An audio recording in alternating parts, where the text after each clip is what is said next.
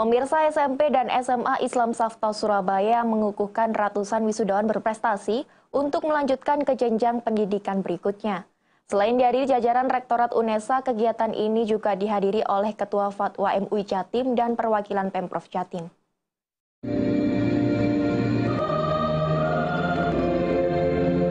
Sekitar 210 siswa SMP dan SMA Islam Safta mengikuti prosesi wisuda dan pelepasan siswa di Geraha Unesa Surabaya pada minggu siang.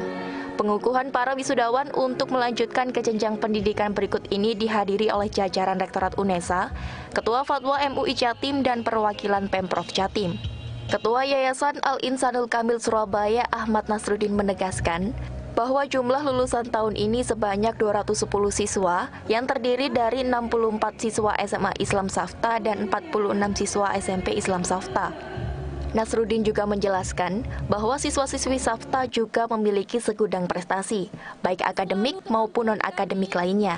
Seperti dalam bidang olahraga kejuaraan futsal Piala Kampus UNESA dan pagar Nusa Juara Nasional Nusantara Cup mewakili Jatim untuk tingkat SMP.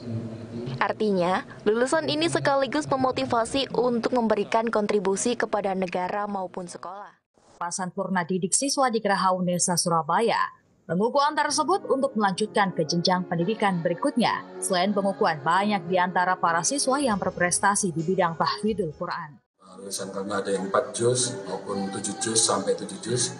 Kemudian ada tilawati, Alhamdulillah murid-murid kami bisa menjadi ustadz dan ustadzah di kampungnya di rumahnya. Ini yang menjadi memang uh, kualitas yang memang kami jaminkan yaitu bisa ngaji. Itu yang penting. Dan kemudian tahfidz yang alhamdulillah juga menjadi program unggulan kami. Dan moga-moga tahun ini kita bisa membuka khusus kelas tahfidz semuanya. Jadi satu kelas tahfidz semua ini menjadi salah satu keinginan kami. Memang salah satu sekolah yang berpahamkan aswaja mobil khusus memang pendiri kami adalah pengurus Nahdlatul Ulama khususnya Jawa Timur otomatis kami sebagai generasi penerus ingin mengambilasikan dan mensosialisasikan Islam rahmatan yang alamin. Itu saja yang memang menjadi value kami di Softa. Sementara itu, Ketua Fatwa MUI Jatim, Makruf Kosin berpesan agar para lulusan SMA Safta dapat memilih kampus sesuai dengan keilmuan yang ditekuninya. Tak hanya itu, Direktur Aswaja Center PWNU Jawa Timur ini juga meminta agar para wisudawan lebih bijak dan selektif dalam mencari komunitas saat berada di perguruan tinggi. Kemudian ke kampus, maka silahkan sesuai dengan bakat, dengan keilmuan masing-masing.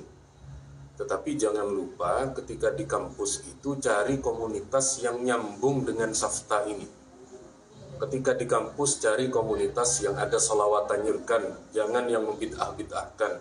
Itu bahaya, itu akan mengarah kepada radikal dan intoleran. Jadi eh, kita mencari yang Safta siap mencetak kader penerus Nahdlatul Ulama khususnya di Jawa Timur dan menyebarkan amalia-amalia aswaja Nahdiyah. Dari Surabaya, Ali Hustan melaporkan.